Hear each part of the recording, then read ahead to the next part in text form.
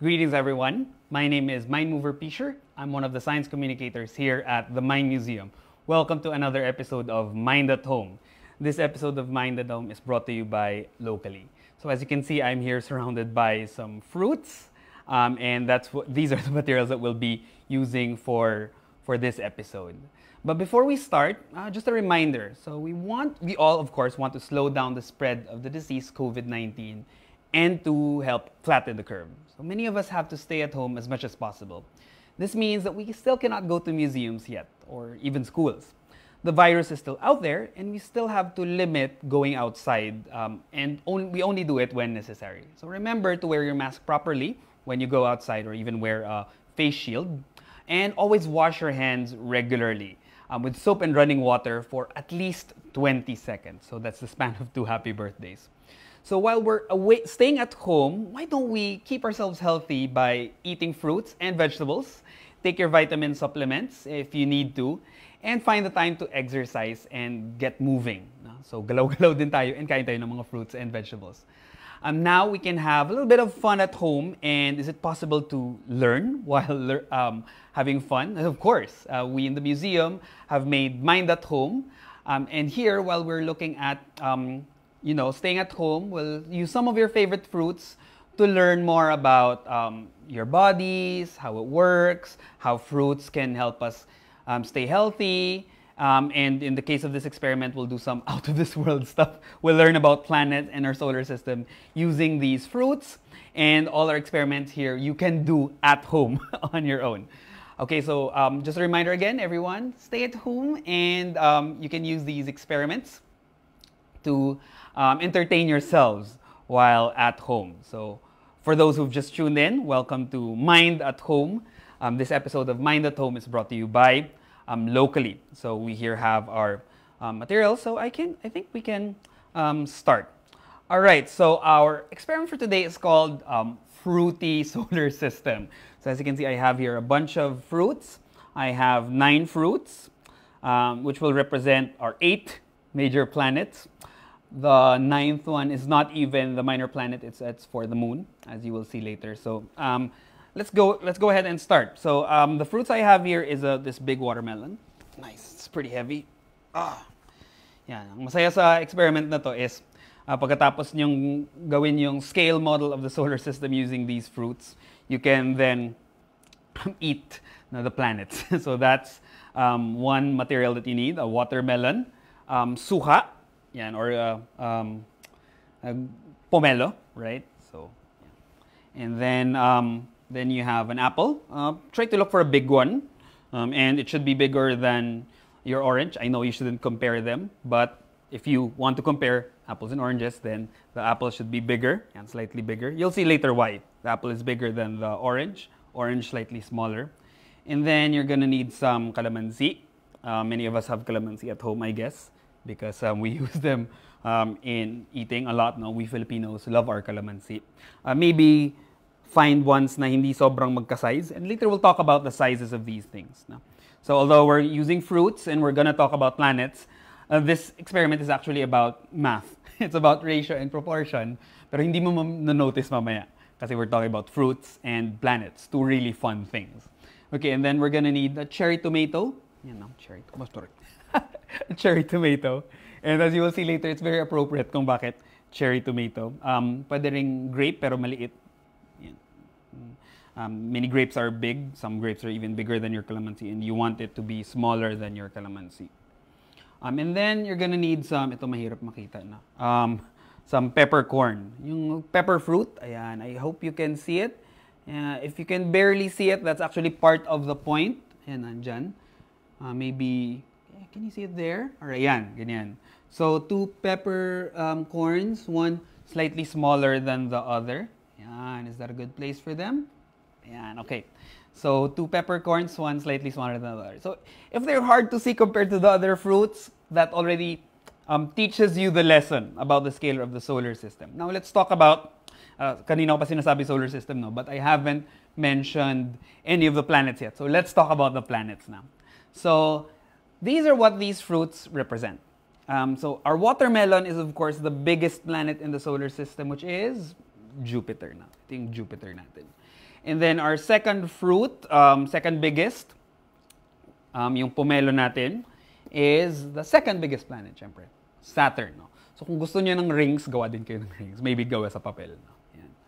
Ah, para ano. And it's of course really big. The rings of Saturn um, are way bigger than Saturn. Spanning around mga siguro mga, the, depending on where you want to do the cutoff. Pero you can do it um, mga three times as big as your pomelo. And then the next one, um, the third planet, the apple, would be your um, Uranus, right? So apple is Uranus. And then your orange would be the slightly smaller planet, that is Neptune, the farthest of the eight major planets. That's your orange. And then your two twin calamansi are your so-called twin planets, um, Mercury and Venus. Yan. So one is slightly smaller than the other, which, which is the bigger one? Siyempre, Earth. No? Because Earth is slightly bigger than, um, than, than Venus. And then, yung cherry tomato natin, yan, siya yung, yan, pakita natin yung cherry tomato natin dyan. Yun yung Mars. Na? So, ito yung Mars. Uh, so, appropriate, no? Red siya. Okay, red planet ngayong name ni, um, ano, ni, ni um, Mars. And then, finally, the smallest planet is this one. Ay, mahirap makita. The peppercorn. That would be Mercury. And I just made a little extra because that's the moon, which is a slightly smaller. Well, not slightly, sometime, some size smaller. Um, about seven thirds, uh, three quarters the size of, of Mercury. That would be our moon, yung moon ni, ni Earth. No? Um, para fun lang mamaya, makita natin yung scale. Um, if you notice, hindi ko dito sinama yung now dwarf planet, diba, na Pluto, which we now consider to be a dwarf planet. But if you, kung gusto mo pa rin isali, then you're just gonna find a, a peppercorn na smaller pa. No? So, yun yung magiging moon mo. No? Yan uh, yung magiging Pluto mo pala. But remember, of course, Pluto is not one of your major planets. It's already a dwarf planet. Now, you're wondering, what if, like, how do I know the sizes of the fruits? And, you know, some oranges are big, um, some um, apples are small. What if I don't have this fruit at home? What I, I don't have that, diba?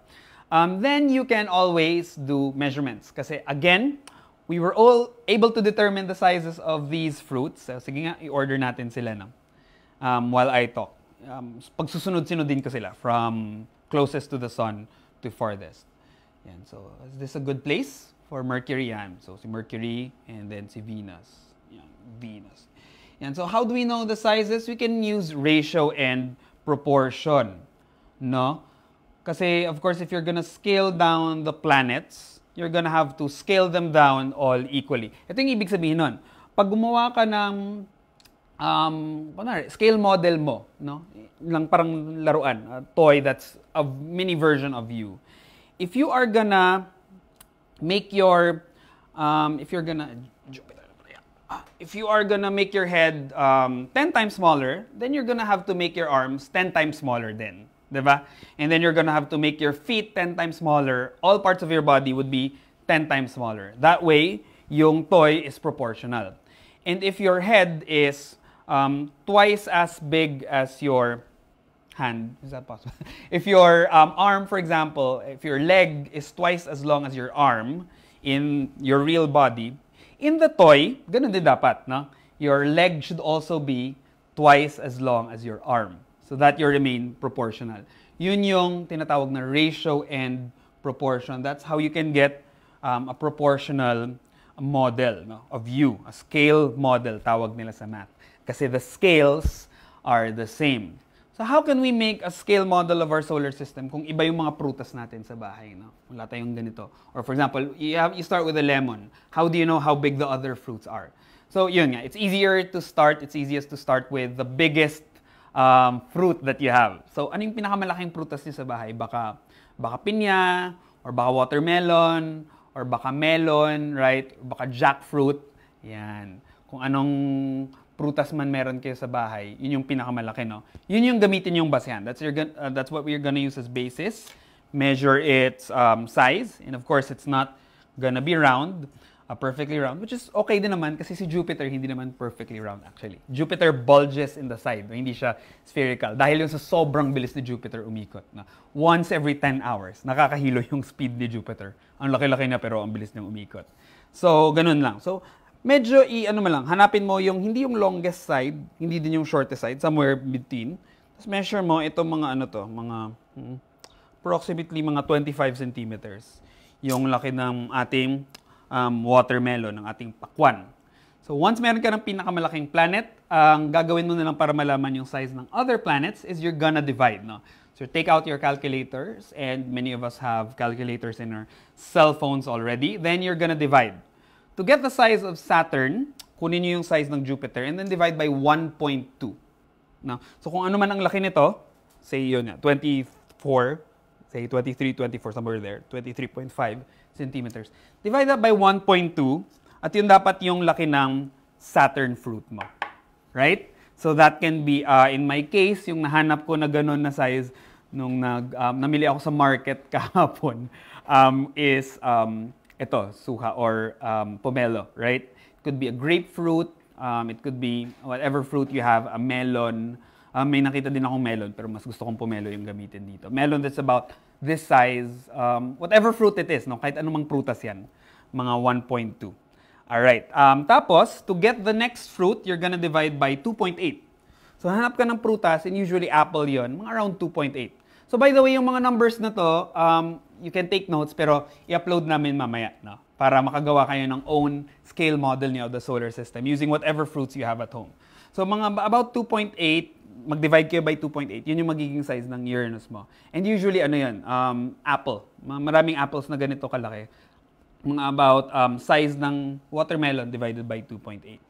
To get your um, Neptune, so usually mga ganitong orange, may mga malalaking orange, pero hanap kayo ng orange na is about um, 2.9. No? So size ng watermelon divided by 2.9. That should be the size of your um, orange that represents your um, that represents your Neptune. And again, pwedeng magkabaliktad yan. Again, as long as measure, let me review lang ah, measure the size of your watermelon divided by 1.2, that's the size of your um, Saturn, divided by 2.8, that's the size of your Uranus, and divided by 2.9, that's the size of Neptune. And then let's go to the next one, Earth. So size nito divide by 11, yun yung magiging Earth mo. Ito yung Earth natin, right? Tapos divide mo by um, 12, yun yung magiging Venus, right? And then finally, divide ka by 29, yun yung magiging size ng, hirap makita na yan. I hope kita, kita ba? Yan. Size ng ating Mercury. No?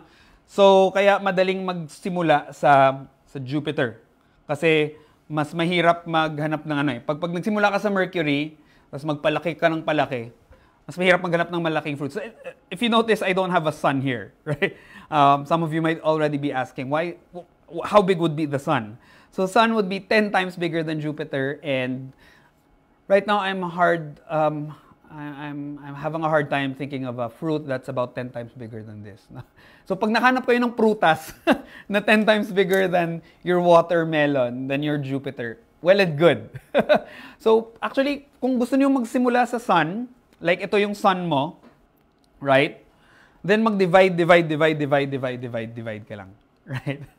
divide, divide ka lang. So, kung ito yung sun mo, divide ka by 10, yun yung magiging size ng Jupiter mo. Kasi 10 times smaller. Pero isipin nyo lang, kung ito nga si Jupiter, ganito kalaki si Mercury, kung ito si Sun, gano'ng kaliit si uh, Mercury, right? So it's hard to find the fruit. That's why we don't have a Sun here. But just imagine, Sun is about 10 times bigger than your Jupiter, right? So these are your fruits.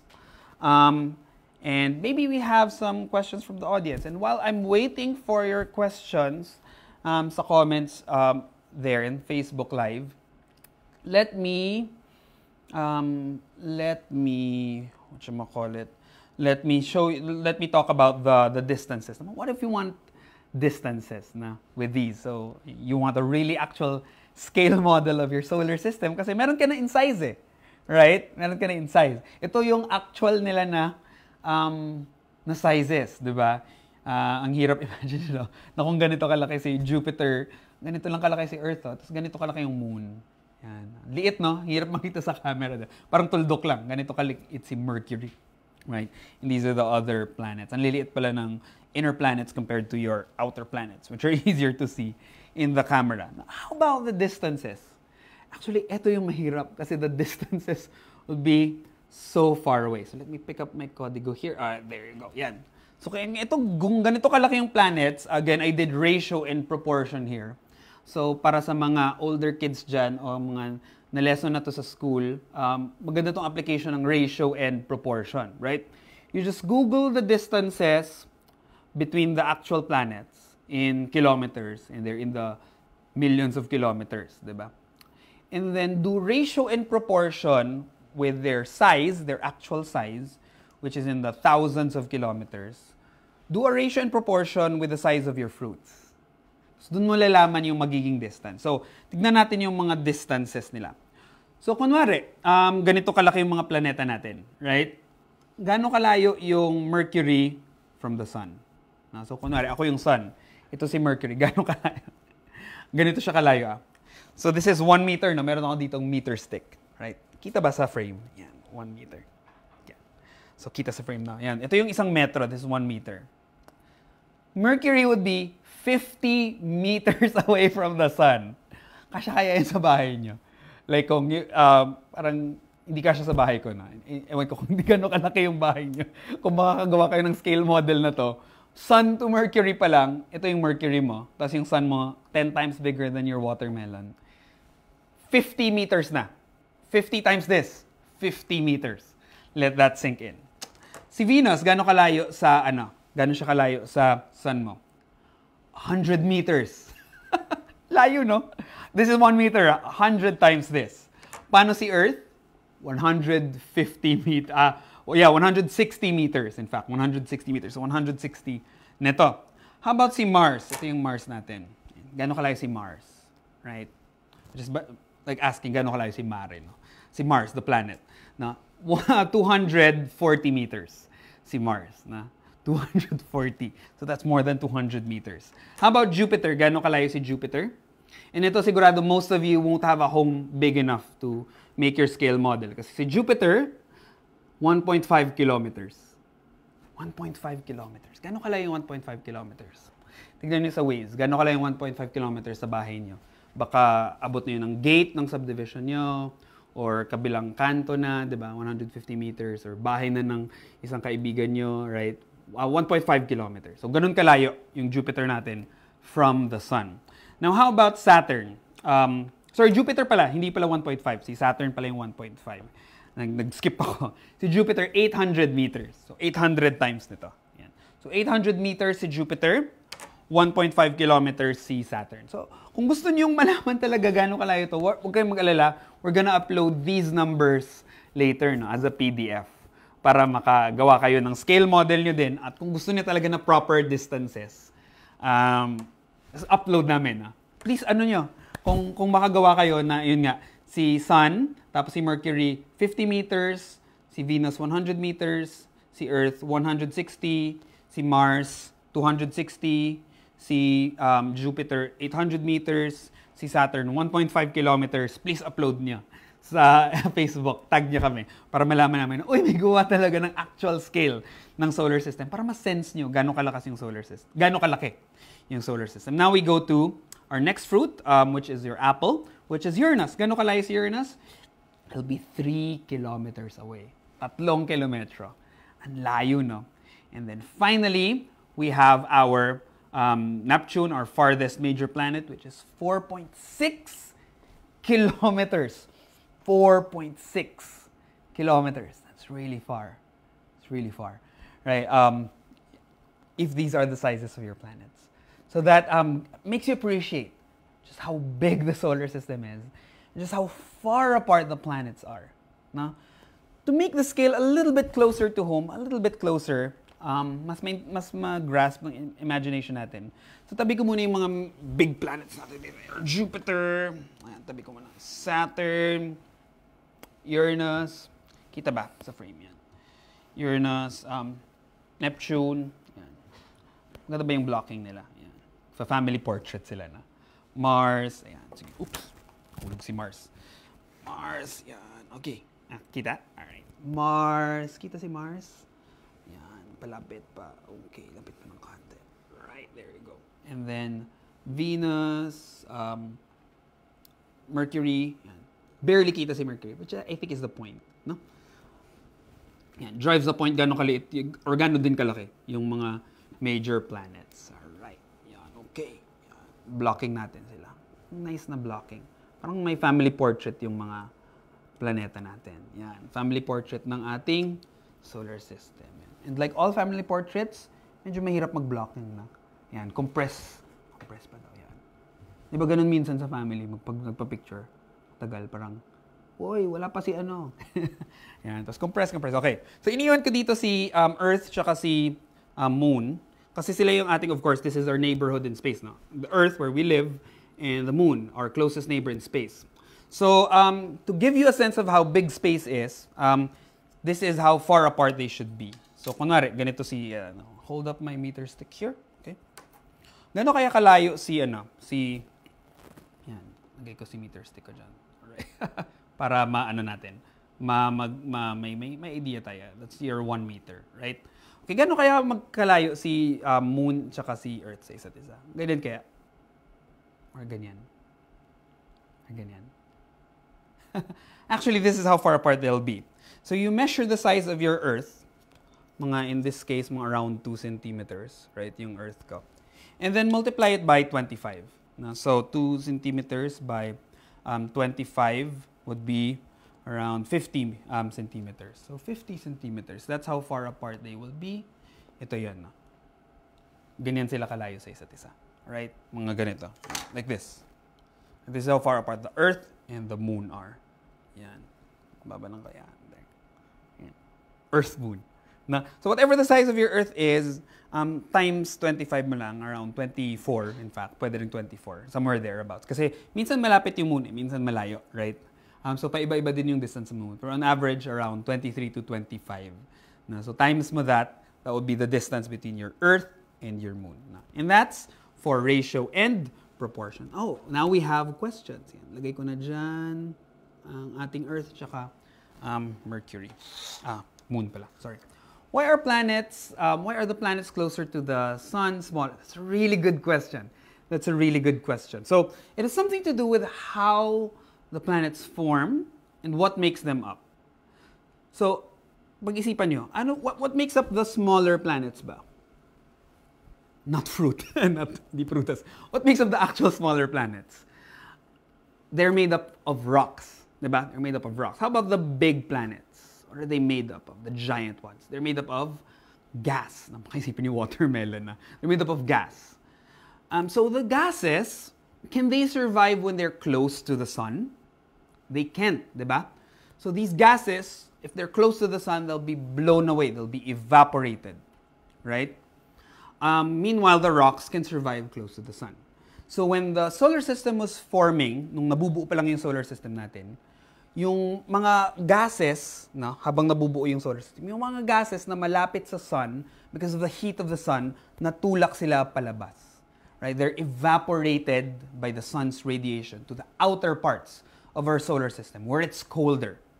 And in that colder part of the solar system, na mas malayo sa sun, that's where you have lots of gases. And that's why, that's where you will form your gas giants. Jupiter, um, Saturn, Uranus, and Neptune. Meanwhile, closer to the sun where it's hotter, the gases will be blown away. Yung may iwan na lang yung rocky parts and metallic parts. And that's why you will have your rocky planets closer there. So that's what um, scientists call the standard picture of how solar systems form or planetary systems form. But of course, there are some planets na nahanap na natin so far, mga giant planets sila, na malapit sa kanilang sun. Uh, mga, like Jupiter, we call them hot Jupiters. Parang gas giant sila na sobrang lapit sa kanilang star, right? Um, we think that the way our solar system formed is the standard way na normally ganun talaga dapat in most um, planetary systems out there.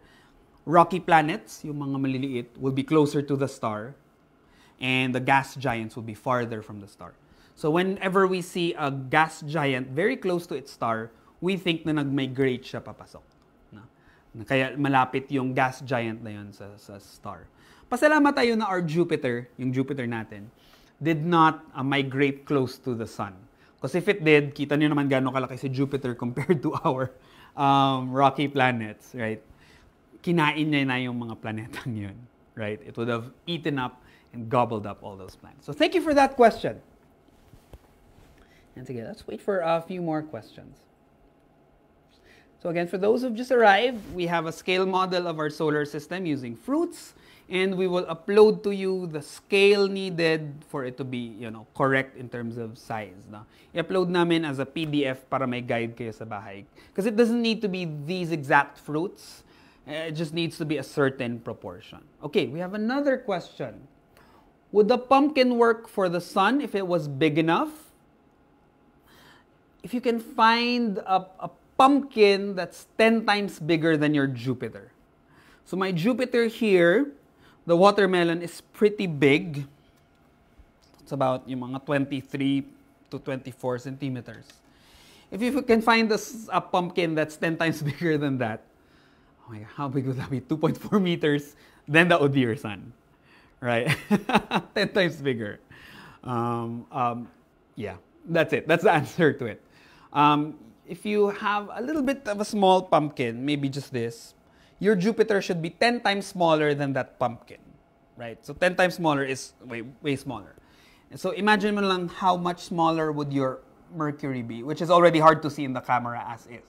Diba? Mahirap lang makita yung Mercury mo. If you're gonna make that smaller, it'll be hard to find a fruit. By the way, this is a fruit. Ah.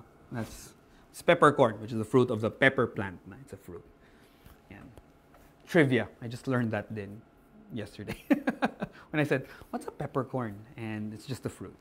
Uh, so fortunately, we have a small fruit, and if you have small raisins, although most raisins are quite big, it has to be that small. Okay, thank you for that question. So yeah, if you have a pumpkin about 10 times bigger than your Jupiter, that would be um, possible. That would be your sun. And maganda pa yung kulay, no? Medyo sun, sunny yung kulay. Right? So thank you very much for those who are watching. If you have questions pa later, maybe we can answer it in the chat. But um, go ahead lang ask them. But um, we hope that um, you enjoyed our um, fruity solar system, um, which is a, solar system to scale using fruit.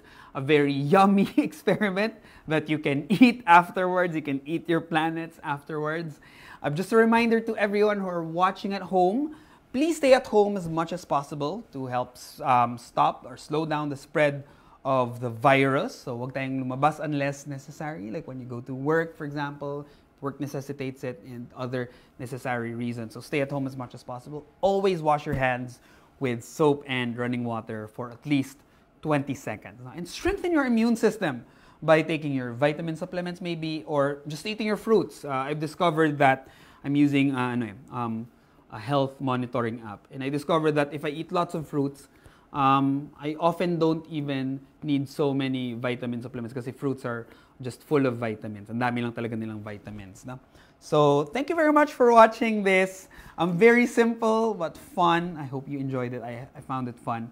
Um, experiment, Fruity Solar System with me, Mind Mover Pisher. Um, by the way, stay tuned for our next Mind at Home here on Monday also at 11 a.m. dito rin sa Facebook page ng The Mind Museum. And also, by the way, don't forget to um, catch me, Fisher, um, for uh, this Saturday for Mind the School, which will be aired on CNN Philippines. Now, that will be on Saturday, 8.30 in the morning. If you miss it at 8.30 a.m., you can always watch the replay on 4.30 p.m. And then again on Sunday, 8.30 in the morning and 4.30 in the afternoon. Uh, so you'll also enjoy that that one. So again, stay tuned for Mind the School this weekend and for the next um, Mind at Home, um, brought to you by Locally on Monday. So thank you very much and enjoy. Wash your hands. Stay safe. Eat your fruits.